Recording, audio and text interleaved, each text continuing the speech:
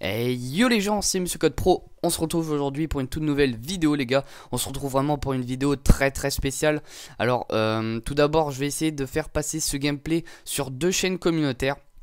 Donc qui ne sont autres que Code QG et Code CF. Je vous remercie d'avance. Euh, les modérateurs si vous me prenez parce que franchement le gameplay c'est vraiment un truc de ouf et je pense que le commentaire sera pas mal du tout étant donné que ça touche pas mal de personnes en France. Euh, donc voilà un petit peu pour, euh, pour ce qui est de ça. Donc je vais vite fait vous présenter un petit peu le gameplay, euh, comment ça s'est passé, etc. Alors, euh, j'avais tout simplement envie de jouer en solo. Je joue toujours en solo ou presque, les gars. Dites-moi si vous voulez un peu de groupe, genre des triples KM en groupe, etc. Euh, donc voilà un petit peu. Euh, et donc, je lance du solo et je tombe dans une partie commencée. Je fais ah merde, vas-y, je vais déco, ça sert à rien une partie commencée. Et j'ai pas déco et j'ai vraiment très très bien fait, les gars. Je fais, il y avait du 4-3 en domination. Donc, on est en domination sur Warhawk 6v6, domination normale. Je tiens à la préciser. Je suis aussi en solo et en non létal. Je joue à la Honey Badger silencieux, chargeur de grande capacité et poignée les gars. Et donc ce gameplay va tout simplement être un world record. Alors je tiens vraiment à le préciser les gars et à vous dire pourquoi c'en est un. Vous allez me dire ouais des plus de 100 ça a été fait, ça a été fait. Alors le gameplay en lui-même c'est un plus de 100 kills les gars. En solo, en non létal, en domination normale. Et en plus de ça, euh, c'est sur une autre map que Strike Zone. Alors ce qu'il faut savoir c'est que vous allez me dire ouais mais bon ça change rien du tout. Tout les plus de 100 qui ont été faits en non létal en solo, ou même en létal en solo, ont été faits sur Strike Zone. Et en domination hardcore ou normal, ça on s'en fout un petit peu. Et là je vous ai fait un plus de 100 kills en solo, en domination normale, 6v6. Je tiens à le préciser, je suis sur PS3 donc c'est du 6v6. Et en plus de ça, je vous réalise peut-être la KEM. Vous allez voir au cours du gameplay. Euh, donc le gameplay va être assez long les gars, je vais essayer de le couper un petit peu. J'espère que les chaînes communautaires me feront pas un petit coup de un pute en, me disant euh, ouais t'as coupé un petit peu, du coup ça passera pas parce que le gameplay en lui-même je crois qu'il fait un peu plus de 14 minutes, un truc dans le genre. Donc voilà. Donc aujourd'hui j'avais tout simplement envie de vous parler de quelque chose qui s'est passé aujourd'hui et qui va se passer pour plusieurs personnes dans quelques années ou même dans quelques mois et qui pour d'autres est déjà passé. Alors euh, je vais tout simplement vous parler de la journée d'appel. Donc c'est la journée d'appel aux citoyens alors en fait c'est tout simplement lorsque vous avez 16 ans les gars, vous devez aller vous faire recenser à la mairie, c'est-à-dire que vous euh, devez vous faire entre guillemets identifier pour euh, que la mairie envoie un dossier à l'armée et qu'il euh, ensuite vous renvoie un papier vous disant tel jour vous devez être par exemple ben, pour moi c'était Limoges. Donc pour ceux qui connaissent Limoges j'étais à Limoges. Donc aujourd'hui même les gars j'avais rendez-vous à Limoges tout simplement pour passer cette journée. Euh, donc pour tous ceux qui sont un petit peu jeunes et qui ne connaissent pas les gars c'est tout simplement quelque chose que vous allez devoir obligatoirement faire les gars. Vous êtes obligé vous pouvez vous pouvez pas passer à côté si vous avez, vous pouvez pas arriver le jour même. Il faudra les prévenir avant histoire de changer la date. Par exemple, vous êtes en vacances à Tahiti ou je sais pas trop où. Et donc voilà. Et donc en fait, vous allez avoir un petit papier vous disant vous êtes convoqué à telle heure, telle date, telle rue, telle adresse, etc. Et à partir de ce moment-là, les gars, eh bien, vous devez y aller. Et dès que vous y allez, en fait, je vais un petit peu vous expliquer comment moi ça s'est passé. Je sais que euh, selon les régions, selon là où vous allez, ce n'est pas forcément la même chose. Mais bon, je tiens quand même à vous l'expliquer, les gars. En tout cas, c'est une aventure que j'ai vécue et je trouve que c'est vraiment plutôt pas mal du tout de raconter ça. Euh, donc le jour d'appel, donc on arrive euh, devant, moi c'était devant un bâtiment de la fac. Euh, de droit, un truc dans le genre. Donc voilà, j'étais à côté. Et donc je rentre, euh, vous donnez votre papier d'identité et la convocation. Il vous retire le euh, billet de train, parce qu'il y a un billet de train si vous êtes trop loin, donc pour prendre le train et revenir. Donc voilà les, retours. Donc moi, étant donné que j'habite à une heure, ben, j'y suis pas allé en train, étant donné que je vis dans, un, dans une, dans une ville paumée. Donc voilà. J'y suis allé en voiture, donc voilà, pas besoin du billet de train. Et il vous donne un numéro, donc pour moi ils m'ont donné le numéro 18, c'est selon euh, votre euh, nom. C'est-à-dire si vous commencez par un T, vous êtes plus dans les 30-40. Euh, si vous commencez par un A, vous êtes plus dans les 10 premiers. Donc voilà, ça se passe comme ça, c'est par ordre alphabétique. Et donc à ce moment-là, ils attendent que tout le monde passe. Vous, vous avez votre propre numéro, il faut le, faut le garder parce que ça sera votre table. Donc ensuite, donc euh, voilà, tout le monde arrive, etc. Tout le monde euh, euh, passe ses papiers d'identité, etc. Et donc là, ils vont vous dire Ah ben, ben moi c'était 8h45 que ça devait commencer. Je me suis levé, il était 6h pour vous dire. Donc voilà, donc 8h45. Donc ils font, allez c'est bon, on y va, il y en a quelques-uns qui ne sont pas là, s'ils ont des petites raisons personnelles, etc. Mais qui doivent absolument dire. Et donc là, il nous faut rentrer dans une espèce de salle. Alors, dans la salle, il y a des, tables de tout simplement d'écoliers, donc euh, comme vous avez au lycée, au collège, en primaire. Et vous avez dessus des petites pancartes avec vos numéros. Et c'est là où vous devez tout simplement vous asseoir. Et alors là, vous avez simplement du personnel, alors que ce soit de l'armée ou de la gendarmerie, donc c'est de la même chose. Hein. Armée, gendarmerie, c'est un petit peu la même chose. Et donc vous avez soit euh, de l'armée de l'air, terre ou de la marine, ou euh, des gendarmes. Alors moi, dans mon cas, ça a été deux gendarmes, donc un retraité de gendarme qui était euh, réserviste et un autre qui était un tout, tout jeune gendarme, donc voilà. Euh, après, je, je sais pas s'il peut y en avoir plusieurs en même temps, en tout cas, moi, il y a eu juste des gendarmes. Et donc, ils vont tout simplement euh, faire trois blocs, entre guillemets. Euh, dans, la, journée, vous allez faire un premier bloc où ils vont un petit peu tout vous expliquer sur qu'est-ce que c'est être un citoyen, les responsabilités, etc. Et en fait, ça va vraiment être très long, les gars, si vous avez pas trop l'habitude de, tenir euh, aux gens qui font vraiment que des discours, etc. Faut, faut vraiment s'accrocher, les gars. Moi, c'était vraiment une très très longue journée. Et donc, ben, vous allez tout simplement discuter, interagir avec eux. C'est vraiment un but euh, qu'ils veulent atteindre, les gars. Donc, si vous êtes un petit peu timide, essayez d'interagir avec eux quand même, parce qu'ils vont vous poser des questions, etc. Et vous, vous pouvez réagir par rapport à ce qu'ils disent, etc. Et ils vous font également euh, un petit peu plus tard dans la, dans la matinée, moi c'était à 10h30 pendant une heure, une sorte de test de français. Alors là vous allez me dire, c'est quoi ça, on doit faire une rédaction, etc. Pas du tout les gars, c'est vraiment, on vous prend limite pour débener. Alors euh, vous allez dire, ouais c'est quoi ces questions, etc.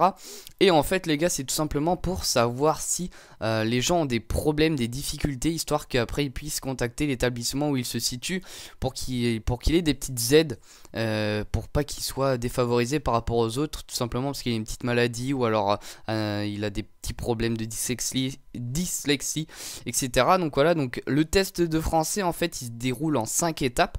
Alors la première étape c'est vous avez une petite télécommande, donc un petit peu comme au code avec 1, 2, 3 jusqu'à 9 et vous avez le 0 de compris dedans. Et donc la première série, ça va tout simplement vous demander. Euh, donc euh, il y a une dans le vidéoprojecteur, la femme va vous dire. Donc voilà, euh, le premier test, ça consiste à. Et en fait, ils vont tout simplement vous passer des mots.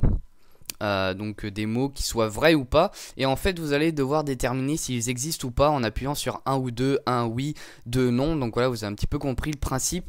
Et il y avait des mots comme euh, lapin, tulipe, etc. Donc voilà, des mots vraiment basiques. Donc vous allez me dire, ouais, faut vraiment être con, etc. Mais il y a des mots qui sont un petit peu chelous quand même. J'ai envie de vous dire, mais quand vous voyez que c'est chelou et que vous avez jamais entendu, vous dites bah non. Voilà, tout simplement. Donc après, vous avez une trentaine de, mots comme ça. Ensuite, vous repassez à une autre, euh, un autre test. Donc c'est, euh, vous avez une sorte de petite pochette que vous ouvrez. Vous avez euh, des sortes de pièces de théâtre, de films à gauche et à droite, vous avez un texte complet qui fait une trentaine de lignes. Et donc, euh, la deuxième partie du, test de français va concerner la partie de gauche où il y aura en fait des pièces, quand est-ce que ça a été fait, par qui ça a été fait, etc. etc. Et en fait, euh, les questions, ça va être euh, dans le, par exemple, le film de je sais pas trop qui, de quelle nationalité est le film, etc. Et en fait, vous répondez en appuyant sur 1, 2, 3, 4. Donc voilà, ça dépend. Et ensuite, ben voilà, vous avez une vingtaine de questions à peu près pareil. la troisième euh, partie du test, c'est encore euh, essayer de savoir si, les mots existent ou pas. Donc voilà, comme lapin, carotte, etc. Euh, donc voilà, vous avez ça. Ensuite, la quatrième partie, c'est tout simplement des informations dans le texte qui a à droite. Donc c'est un texte comme un petit roman. Donc moi, personnellement, c'était un, un, truc avec la milice où c'était un petit jeune qui avait une enveloppe, etc. qui devait donner à quelqu'un. Il y avait un petit vieux euh, qui s'est fait tout simplement tuer par la milice, etc. Donc voilà. Euh, et tout simplement, ben, euh, par exemple, ils vous disent à la ligne 10, le mot il, enfin du moins le pronom il dénonce qui? Alors là, vous avez par exemple Monsieur Jean, le vieillard, le, le, petit facteur, etc. Et là, vous devez répondre tout simplement. Donc voilà. Ensuite, vous avez pas mal de questions sur le texte comme ça, une petite vingtaine encore.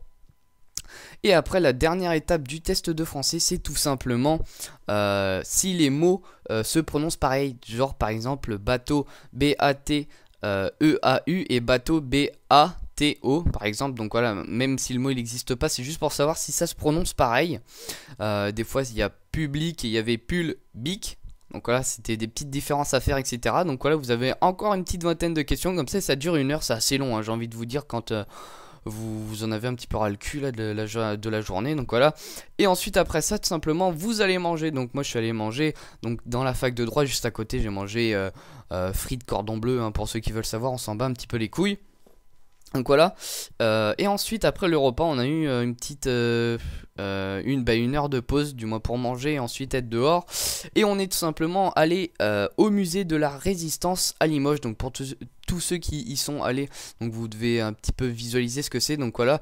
Et on a eu tout simplement une visite guidée d'une meuf enfin d'une dame, excusez-moi, qui nous a tout simplement un petit peu raconté euh, l'histoire de la guerre, etc. Alors j'ai envie de vous dire que moi ça m'a un petit peu fait chier étant donné que euh, en cours on a on l'a étudié mais tellement longtemps que je sais pas mal de trucs de ce qu'elle a dit.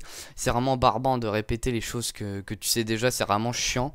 Euh, ensuite, ben, vous y restez une heure, voilà, donc on a pu voir des armes, des avions, un petit peu de tout. Donc voilà, elle a pas mal expliqué à des gens qui ont bien compris, il y en a qui ne savaient même pas ce qu'elle disait.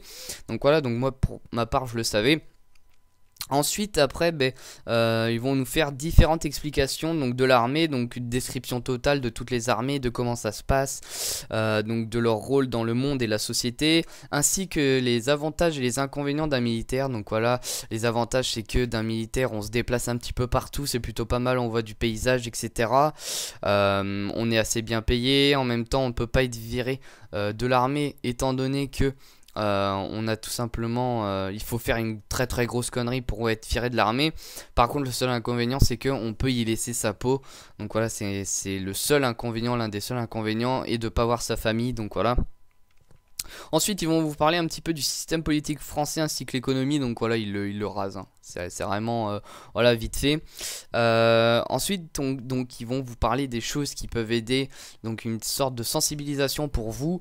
De vous dire que les choses euh, qui peuvent aider les gens du genre du don d'organes, du don des sangs, du don de l'argent, du don pour à manger, etc. Pour aider les personnes en en difficulté parce que si vous serez en difficulté vous aimeriez bien qu'il y ait quelqu'un qui vous aide donc voilà un petit peu ils vous font une sorte de, de, petite morale comme ça là-dessus et je trouve ça assez enfin assez bien ensuite vous avez tout simplement euh, le secourisme alors c'est tout simplement la croix rouge qui est venue donc euh, qui euh, va nous inculquer donc des méthodes de soins, du moins de réanimation, etc. Donc moi personnellement j'avais fait le PSC1, donc pour ceux qui savent c'est un petit peu une sorte de test pour de sauvetage, donc voilà.